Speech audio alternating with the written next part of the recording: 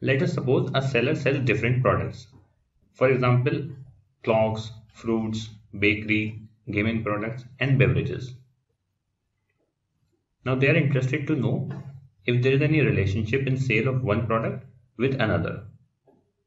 So is there a chance that they are bought together? This information will help the sellers in recommending such products to the customers. Well, we all must have seen such recommendations on Amazon when we buy any product. Or even Netflix recommends us movies based on our preference. So all this is possible using association analysis.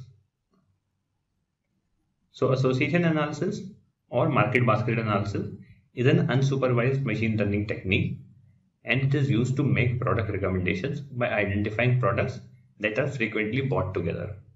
This is what we have just discussed. So what it does is it looks at the purchase coincidence and investigates whether two products are being purchased together and whether the purchase of one product increases the likelihood of purchasing the other product. Now so many companies are using it.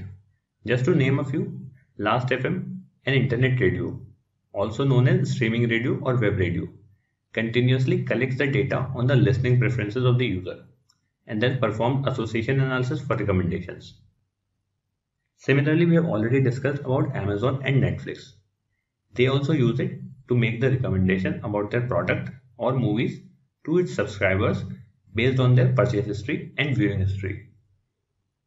So this is what in a nutshell association analysis is. Now let's see some important terminologies that are used in association analysis.